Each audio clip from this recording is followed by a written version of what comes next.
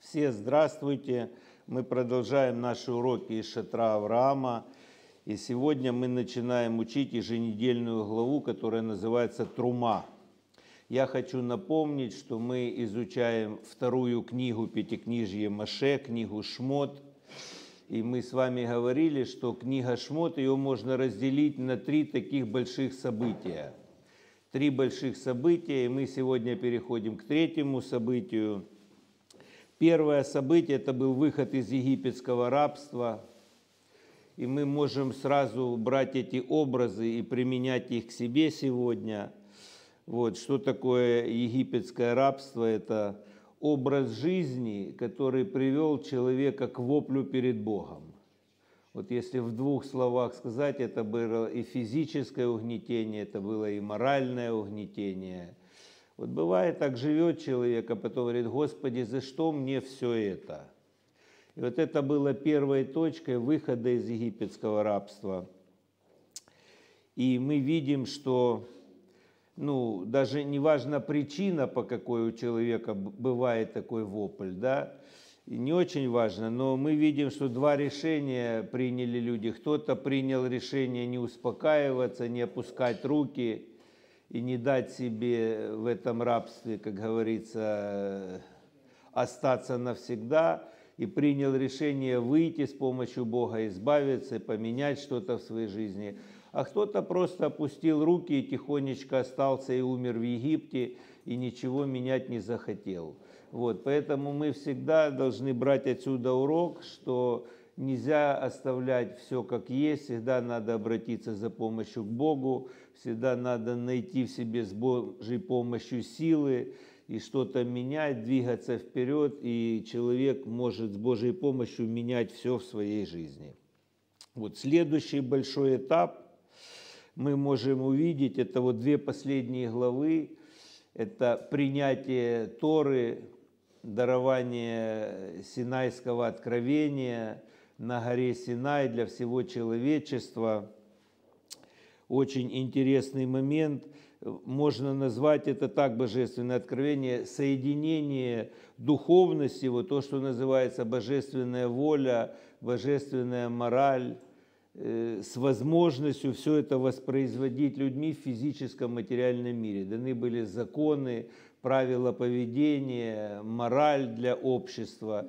И все это стало приведимо, чтобы духовные вот эти божественные принципы, они наполнили сердца людей, они наполнили материальный мир, все, что человека окружает. И все это, конечно, посредством выполнения тех заповедей, тех законов, которые Всевышний дал людям на горе Синай. Очень интересно, мы видели две главы, и Тро глава, и глава Мишпатим и они немножко отделяются. Вот дарование Торы ну, можно разделить как бы на две части. В главе Итро мы видели ну, целое событие, гора дымилась, люди слышали голос Божий, души человеческие вылетали и заходили обратно, все слышали первые две заповеди, ну, были такие возвышенные вещи какие-то, да, и тут же сразу в главе Мишпати мы видим совершенно наоборот. Детальная реализация, всевозможные юридические законы, всевозможные тонкости, что когда читаешь законы Мишпатим, кажется, ну разве Богу есть до этого дело? Кто кому должен вернуть долг, кто кому должен какие-то погасить материальный ущерб – да, то что мы видим? Мы видим вот как раз в двух этих главах, что такое Тора на самом деле, что Всевышнему есть дело до каждой мелочи в нашей жизни. И кто кому деньги должен, и кто кому должен зарплату вовремя, и как эти деньги потратить, и как относиться к людям, попавшим в проблему, и так далее, и так далее, и так далее, и так далее. Знаете, я посмотрел фильм один, и вот он мне очень так напомнил вот эти вот две главы, да, что часто люди говорят, ну, вера в Бога это что-то такое великое. Мы, когда мы говорим о вере в Бога, мы подразумеваем какие-то чудеса, какие-то там такие сверхъестественные события. А вот эти маленькие детали мы упускаем. И я вот недавно фильм посмотрел, ну, такой фильм интересный про службу ФБР, И вот мне запомнили слова одного ФБРовского начальника. Э, потом он расчувствовался и своему другу рассказывал. Он говорит, я пришел на эту службу, чтобы оберегать мир своей семьи, но я потерял свою семью ну и показываются события. Очень хороший, честный человек, патриот. Но все время он уделял своей, своей работе, своей карьере, вот за возвышенными вот этими пошел всеми идеями. И по концовке что? Его жена не выдержала, его дети не выдержали. И жена ушла, он хороший человек, жена хорошая женщина, дети, все хорошие люди. Причем даже он там что-то вспоминал о Боге. Вот. Но что мы видим? Что вот эта наивность и самонадеянность, они не заменят вот божественную мудрость. Бог на горе Синай дал нам маленькие детали, маленькие тонкости, приоритеты. И вот я задумался, вот посмотрел, ну это художественный фильм, но идея это очень банальная, ведь многие люди так погоне за какими-то большими идеями, общечеловеческими, такими масштабными, да, они теряют самое важное, что Бог дал человеку, то, что заключено именно в маленьких деталях, как относиться к своей жене, как относиться к мужу, сколько времени уделять своих детям. И вот эти маленькие-маленькие тонкости. И я подумал, что если бы этот человек ну, действительно знал Тору, не просто он верил в Бога, да, я еще раз говорю, наивность и самонадеянность, она не поможет человеку построить свою жизнь. А вот эти законы и правопорядки, которые Бог дал на горе Сина, эти маленькие тонкости, вот эти все вещи, как относиться друг к другу, как относиться к деньгам, за что платить, за что не платить, вот эти все эти тонкости, это на самом деле очень важно, но, к сожалению, мир обозвал это Ветхим Заветом, это изучается очень мало, мало людей понимают ценность этого до сегодня. Но мы верим, что все это будет меняться, и вечный завет займет свое достойное место в сердцах людей, и тогда и люди изменятся, и этот мир изменится, и все станет по-настоящему, так как Всевышний этого и хотел. Вот. И мы сегодня в нашей главе, вот эта трума, мы переходим к третьему этапу, который будет, по-моему, пять глав, если мне не изменяет память, самое большое количество глав в этой книге. Это построение храма, детальное описание всех предметов, все как строилось, кто что приносил, кем это все строилось. И в этом, конечно, есть для нас много мудрости, мудрецы так дают девиз вот этого явления построения храма «На всех путях твоих познавай его». На всех путях познавай его, потому что Всевышний сказал, постройте мне вот это святилище и обязательно запомните все образы шатра и образы каждого предмета.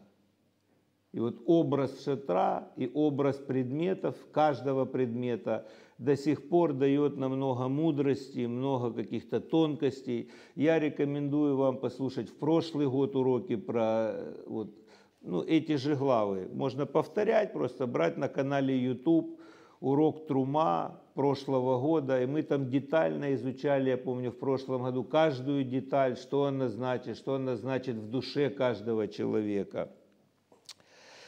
В главе Трума две главные идеи написано, что «и сделают они мне святилище, и я буду обитать среди них».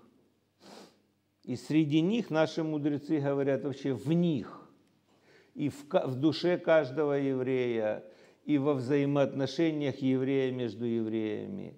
Я буду обитать. Они построят мне святилище, то есть какое-то сооружение типа временного храма, переносного жилища – а я буду обитать не в нем, не в этом жилище, а я буду обитать в них и среди них. Это одна идея. И вторая идея, что каждый человек, который находился в еврейском народе, так или иначе должен был принять участие в созидании этого сооружения. И мы как раз сегодня посмотрим ну, что это были за приношения, о чем здесь идет речь. И, конечно, как всегда, получим уроки для себя. Сказано, что вот это вот слово «трума» переводится как «возношение», возношение, приношение – можно по-простому сказать, пожертвования. Да? Весь народ собирал что-то, все что-то приносили, все что-то собирали.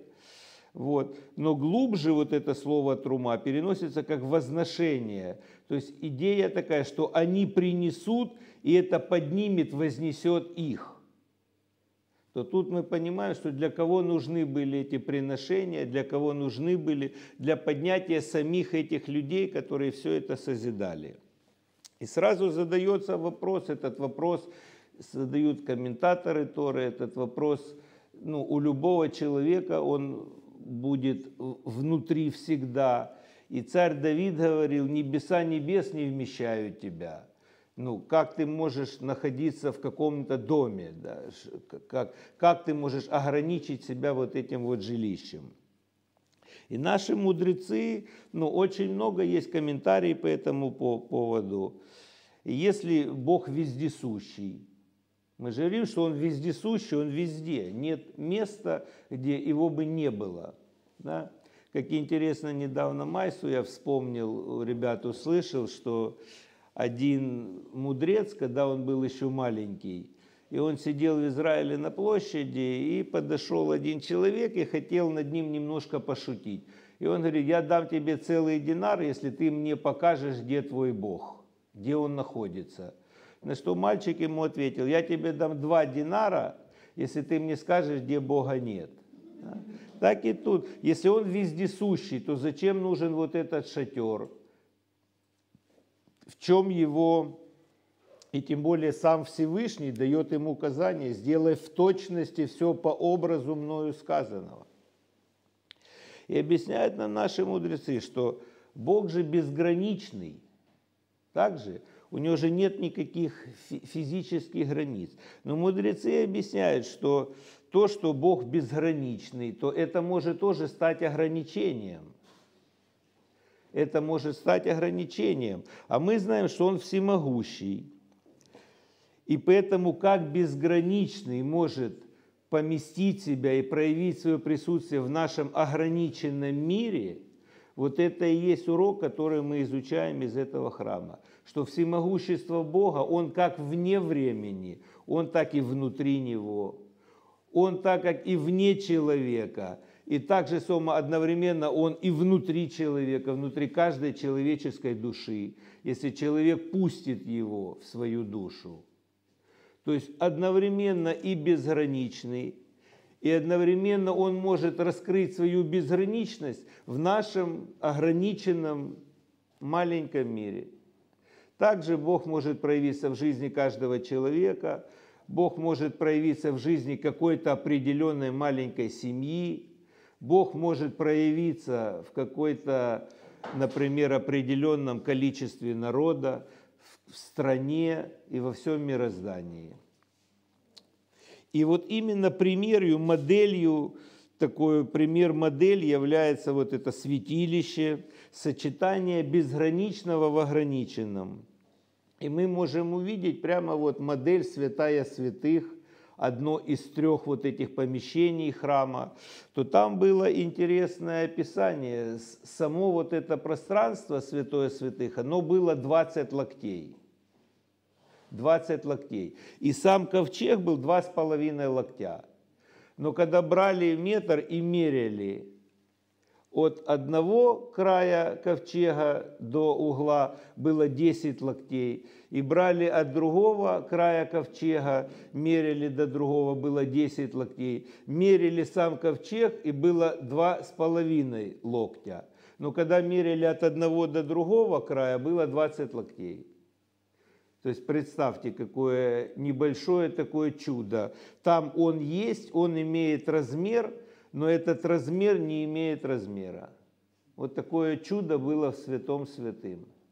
И вот так вот Всевышний, если когда человек говорит, ну, Бог в моей душе, или Бог в моих поступках, он там действительно может быть, если человек живет по заповедям, если человек действительно пустил Бога в свою жизнь, в свою душу, старается жить по заповедям, то он там действительно есть, но линейкой ты его никак не померяешь.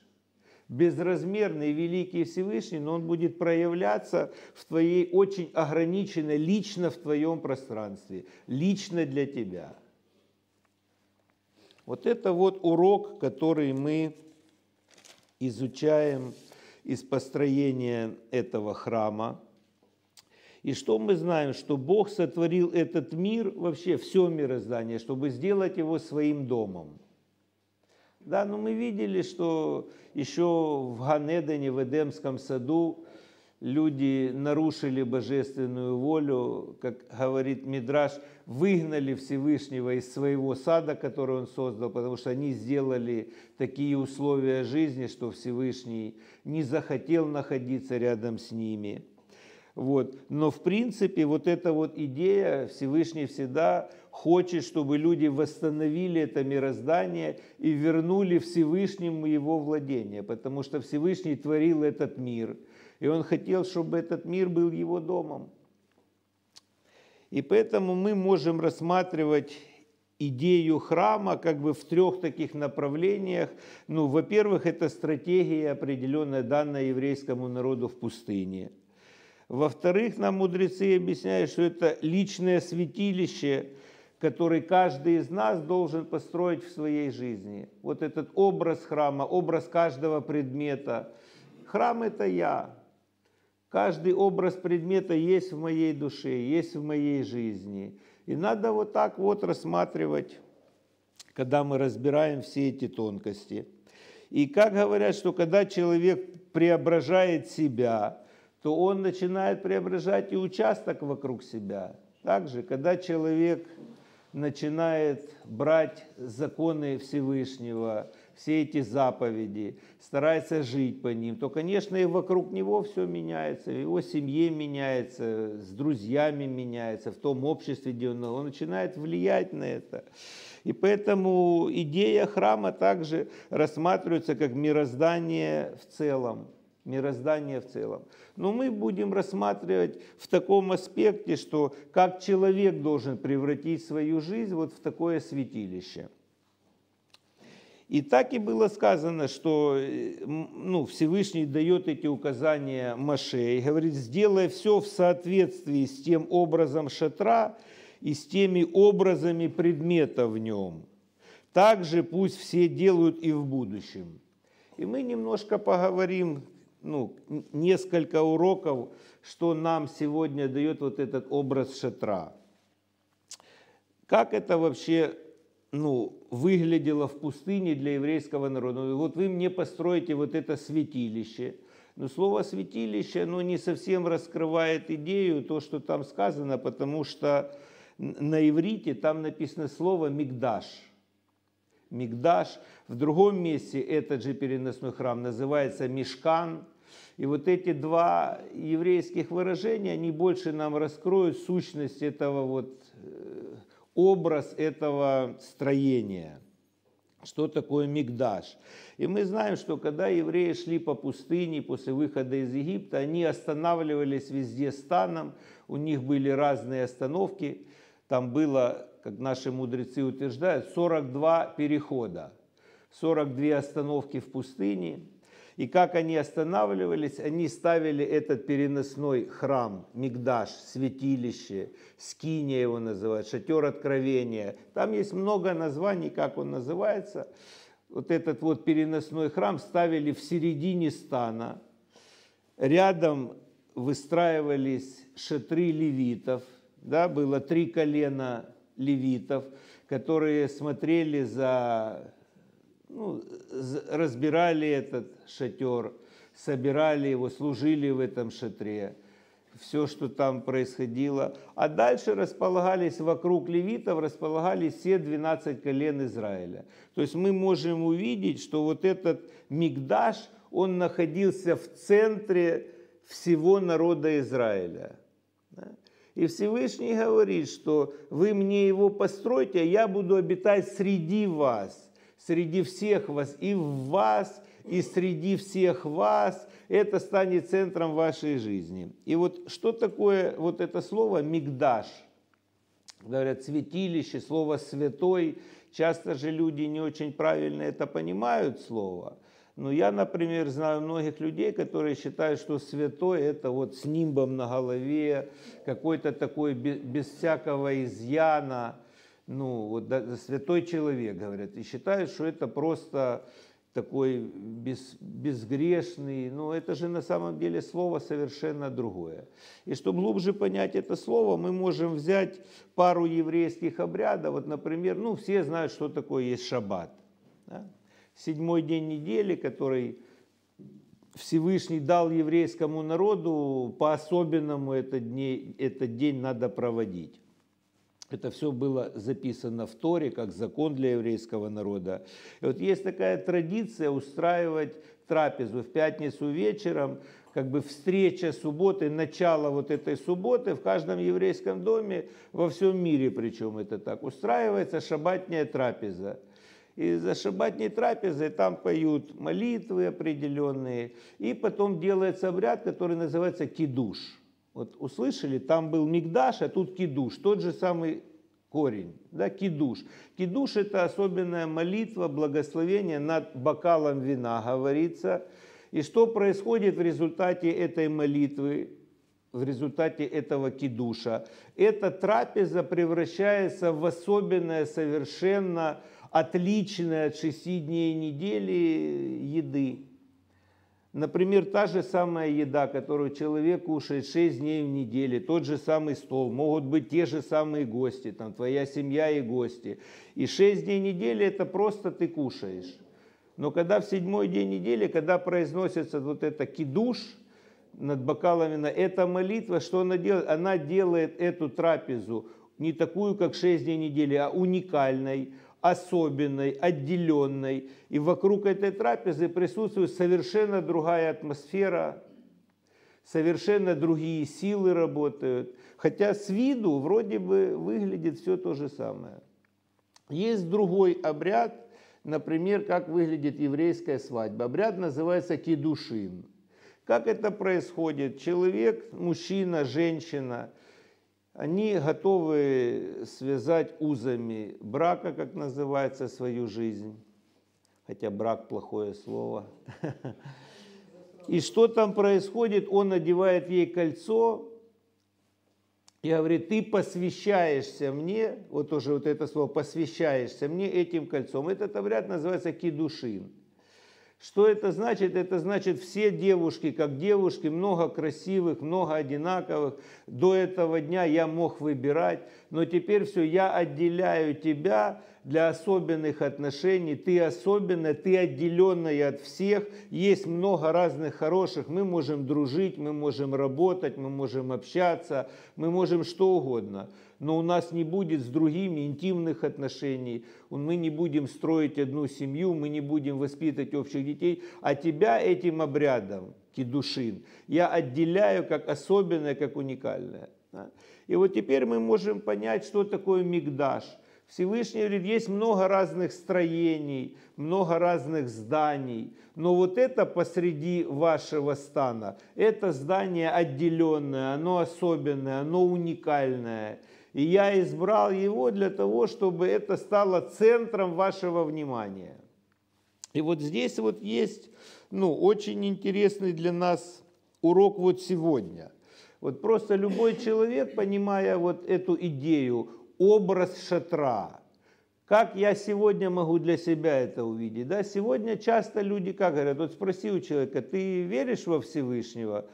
Он скажет, ну да, но если ты чуть-чуть глубже разберешься, то есть как бы вера в Бога для него, ну как очередное явление. Он там деньги зарабатывает, еще что-то, еще что-то. Оно-то так и должно быть. Но ты не почувствуешь в разговоре с человеком вот этого трепетного отношения, что он находится в центре, что связь с Богом и идея веры во Всевышнего и связи с Богом, что это для него вообще самое центральное в жизни явление, что это отделено от всего, что это именно в центре, оно главенствующее в его жизни. А, я сейчас не имею в виду сектантское поведение. Знаете, как часто бывает, что человек бегает, у него, что не спроси, у него все Бог, Бог, глаза такие горят, все. Ну, совсем не это. Но когда человек сознанием дела, вот как этот стан был выстроен, было огромное количество шатров, там были 3 миллиона человек. Но вот этот находился в середине стана, это был центр жизни всего народа. И когда такое отношение, когда у человека внутри есть такое понимание сегодня, что все, что он делает, делает с Божьей помощью, делает с трепетом перед Всевышним, деньги зарабатывает, с женой общается, с мужем общается, детей воспитывает, долги раздает – штрафы дает, ну все что, все, что нас сегодня окружает, все он делает с Божьей помощью и старается понять божественную мораль, божественные законы. Он это изучает, он это применяет, и он внедряет в это в своей жизни. И тогда, конечно, когда Бог у тебя во главе всего, то тогда Он, конечно, находится и в тебе, и среди всех твоих отношений – Поэтому эта идея даже сегодня, она очень актуальна. И теперь немножко давайте поговорим об образе предметов. Я как раз вот хочу напомнить, у нас же сейчас заканчивается месяц шват еврейский.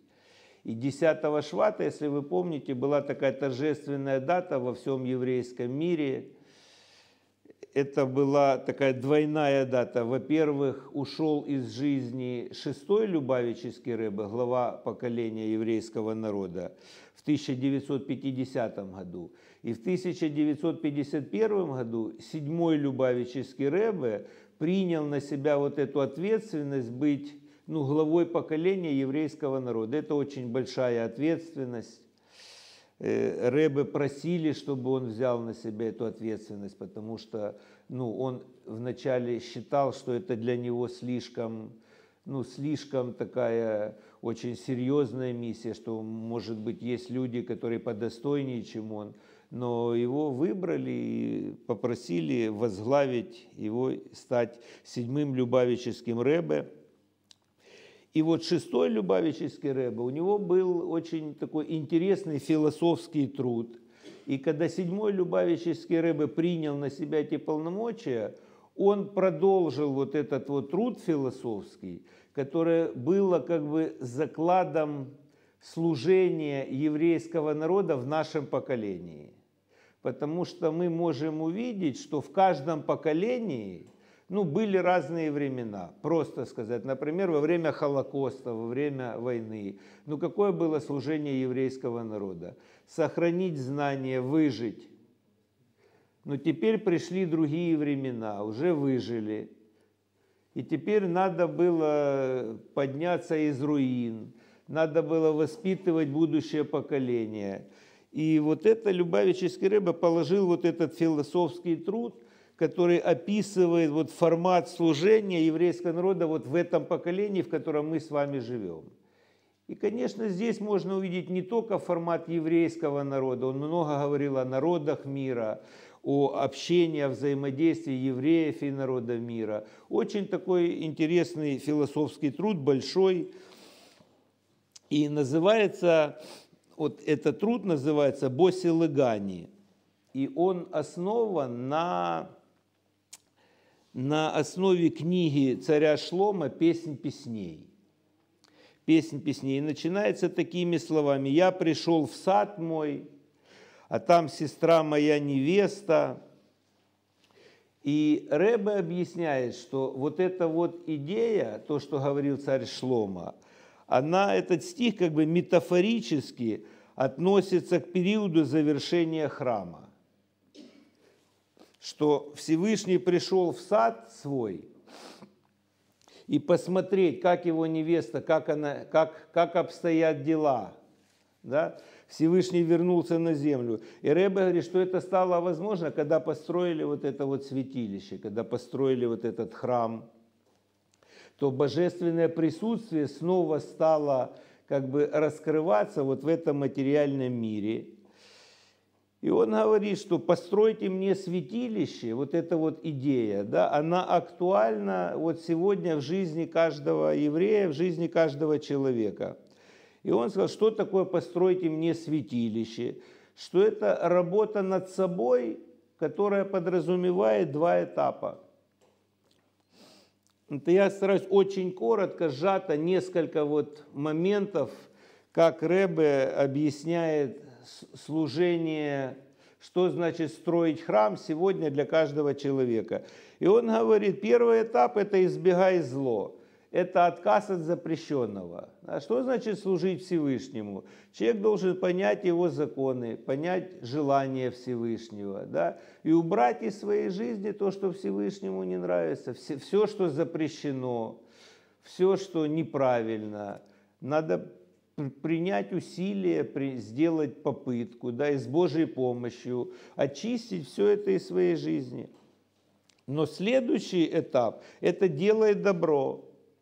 И что такое делает добро, что дисциплинируй себя даже в разрешенном. То есть есть вещи запрещенные, это понятно, их надо выкинуть из своей жизни.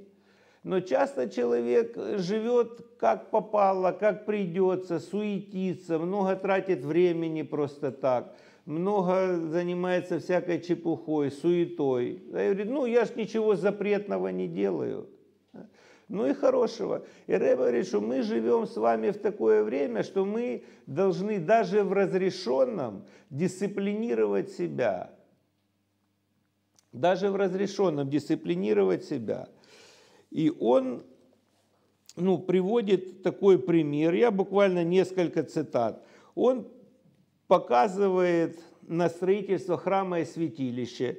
И он берет цитату, что сделайте его из дерева шитим.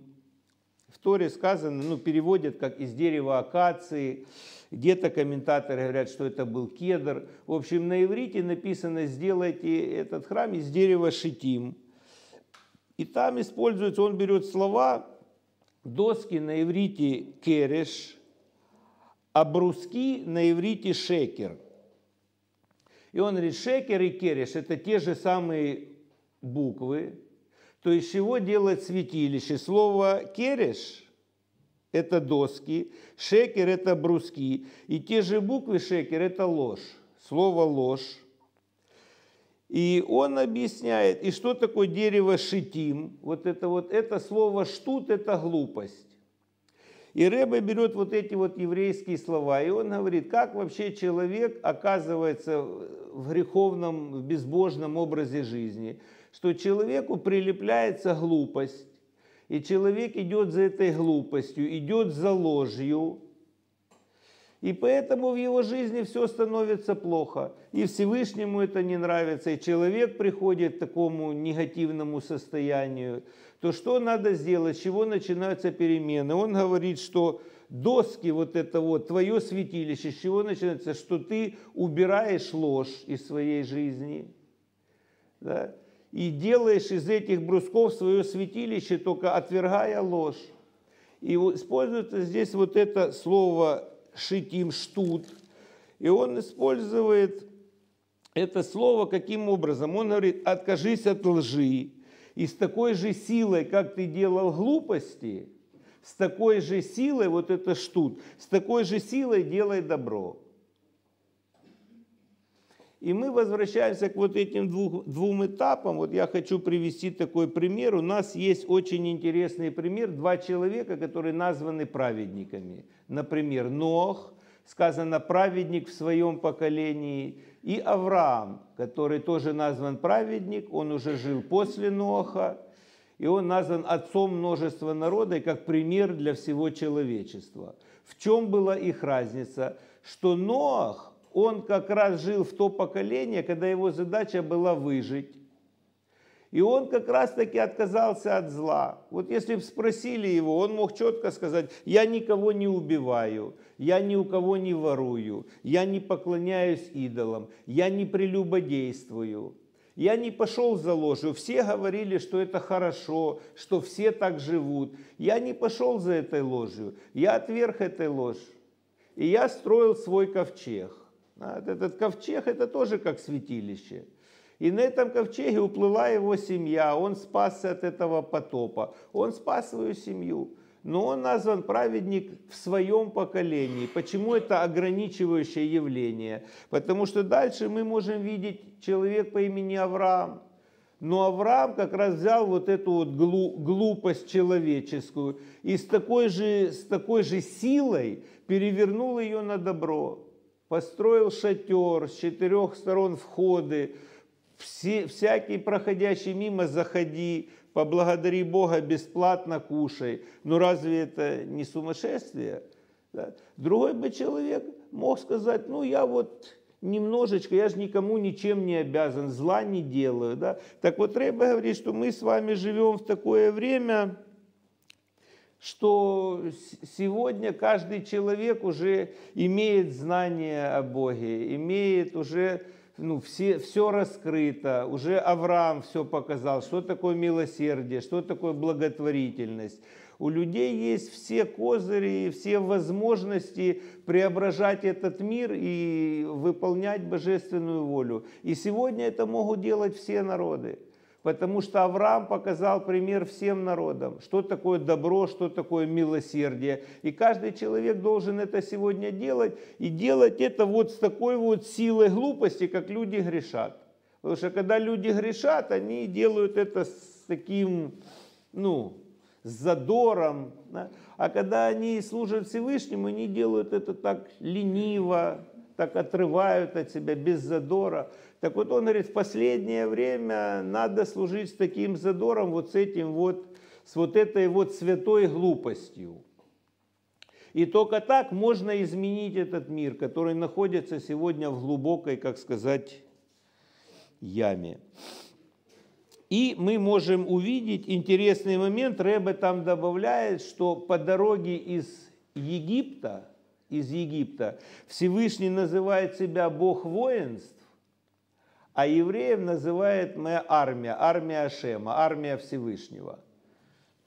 Я как раз сегодня собирался утром и увидел, а у моего сына ну, на шкафу висит его обещание. У них в школе было такое, он даю обещание быть примерным солдатом Ашема, армии Ашема. Ну, это дети в первом классе давали такое обещание быть воином. Они вот это все изучали, вот этот вот философский труд изучали, вот 10 швата, и им рассказывали, что такое быть солдатом Всевышнего, что не просто, а солдатом, чтобы ну, делать работу вот с таким вот рвением, чтобы служить Всевышнему, чтобы распространять знания Торы, чтобы учить Тору. И Рэбе объясняет, вот, чем военный отличается от гражданского. Да? Военный, он дисциплинирован во времени, у военного все четко, он все время озадачен, он не будет тратить время по пустякам, у него нет на это времени. Вот. У него есть свой род войск. Да? То есть у него есть кто-то там летчик, кто-то танкист, кто-то пехота. У каждого есть то, чем он может улучшить этот мир. И также есть у каждого человека. Он говорит, что у каждого человека есть что-то, что он может чем-то может улучшить этот мир. Просто надо захотеть это сделать, и надо приложить к этому участию. И дальше он говорит, что король обеспечивает своих солдатов. То есть, когда человек так относится к Всевышнему, старается улучшить этот мир, да, то и Всевышний так же само, он беспокоится о людях, считает их особенной свои, своим подразделением и так же само помогает людям во всем. И как, как идея, что верующий человек сегодня должен был причастен да, к распространению добра и милосердия, делать это с азартом, делать это во имя Всевышнего, а не просто так холодно «я верю в Бога». Поэтому, как говорится, кто имеет уши, тот услышит. Ну и хочу несколько слов сказать по поводу нашей главы Трума, так как мы говорили, что ну, все должны были принять, все общество, да, вся община Израиля должны были принять участие в построении вот этого вот Мигдаша, святилища.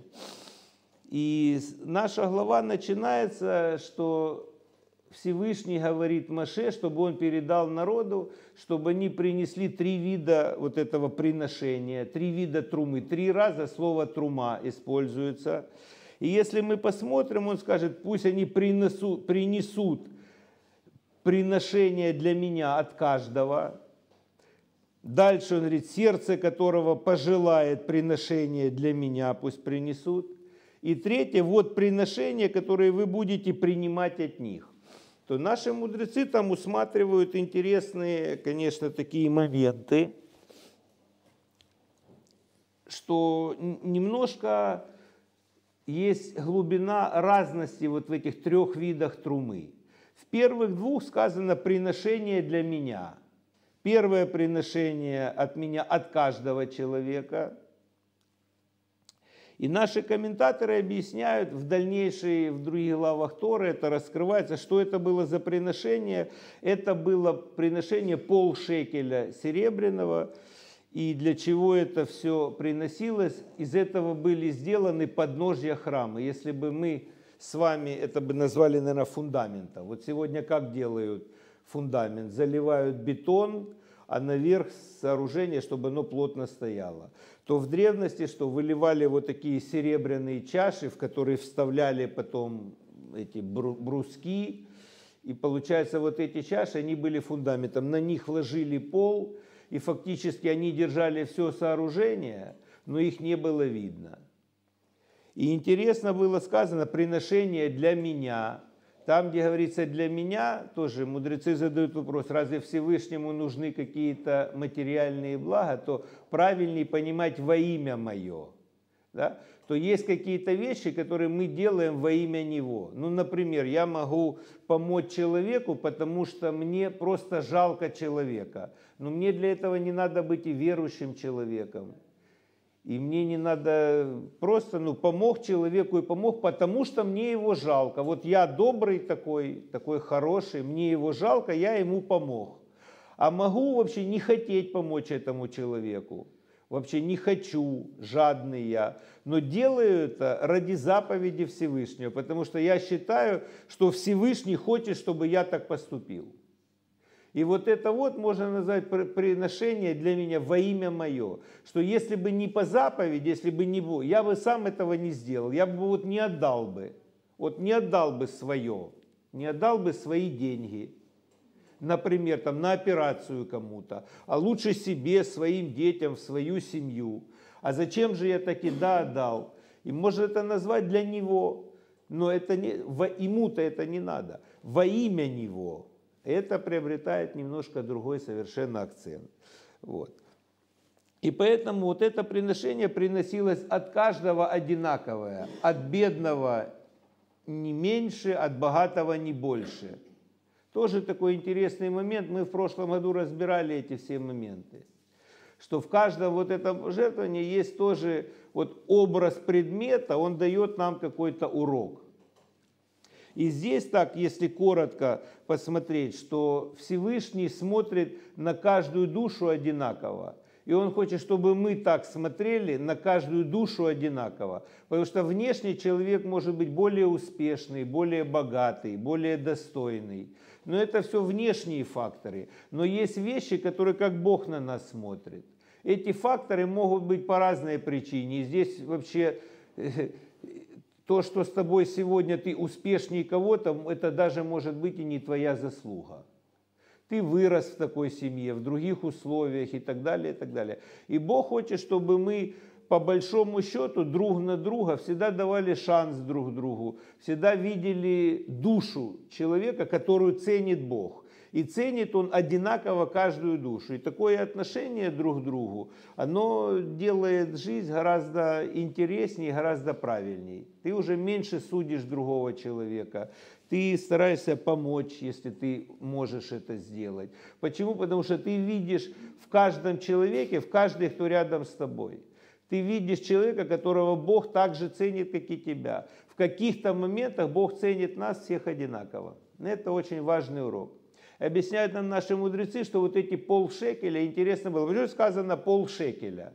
Был определенный брусок серебряный, и надо было его распилить и принести половину. И мудрецы объясняют, что даже чтобы распилить этот брусок, тебе должен был помочь другой какой-то человек, он должен был поддержать тебе, чтобы ты мог распилить, и ты должен был помочь ему. И так объясняет, что значит среди них. Бог может быть как в твоей душе, так и во взаимоотношениях твои и твоего соседа, твоего друга, другого человека. Вы сделаете святилище, я буду жить среди вас во всех ваших взаимоотношениях, вашей взаимовыручке, вашей реакции друг на друга, да, как вы помогаете друг другу и так далее, и так далее, и так далее. Следующее пожертвование, он говорит, сердце которого возжелает. Там на иврите стоит слово, мудрецы так переводят, буквально сердце дышит, то есть сердце вдохновляет тебя. И там тоже сказано приношение для меня, и если вот те первые полшекеля, это было одноразовое, когда делали ну, вот эти подножия храма, то то уже было ежегодное пожертвование на общественные жертвоприношения. Тогда покупали, например, ну, скот, который приносили жертвоприношения за весь народ. Сегодня можно это посмотреть ну, иначе. Сегодня тоже, например, люди собираются вместе, чтобы реализовывать ну, то, что они считают для него. Ну, например, воспитывать будущее поколение. Да? Или делать какие-то вот распространять знания Торы. Для всего же нужны какие-то и финансы, и знания, и силы человеческие. Да? То тут сказано, что сердце которого пожелает, вдохновит его на это. И тоже для меня. То есть что мы видим? Мы видим, что где-то Всевышний говорит, обязательно что-то должны делать все а что-то те, кто хочет, он никого не заставляет. Да? Это надо вроде бы для него, но на самом деле это же нужно самому человеку. И это четко сказано в третьем вот этом вот, в третьем приношении. Он говорит, и вот приношения, которые вы будете принимать от них. Золото, серебро, медь, шкуры, масло для миноры, благовония, камни для одежды священников и так далее, и так далее, и так далее. То есть и тут уже не сказано для меня. И что мы отсюда учим? Мы отсюда учим, что каждый человек сам должен быть причастен к божественному. А это, это выбор человека, каждый то, что он имел. У кого-то было золото, он приносил золото. У кого-то были шкуры, он приносил шкуры. Кто-то умел шить эти шкуры, он сшивал эти шкуры. Кто-то умел выливать это золото, он делал из этого золота минору, кто-то имел камни, приносил камни, а священник потом служил в этих камнях. То есть все были причастны и все вместе делали божественную работу. Ну, например, вот сегодня взять такое простейшее, вот если взять пример Авраама, да, было сказано, что ты научишь потомство свое идти путями Всевышнего, то у любой, например, общины сегодня есть задание ну, вырастить следующее поколение. Также воспитать детей, воспитать молодежь, проводить уроки, проводить всевозможные занятия. Для этого всегда кто-то что-то должен. Есть учителя, кто-то дает на это деньги, кто-то дает свои знания, свои таланты. Из этого состоит община. Из этого состоит община. И Всевышний говорит, когда каждый вот так вот будет смотреть на это, и я тогда буду обитать среди, среди вас, то есть в каждом из вас.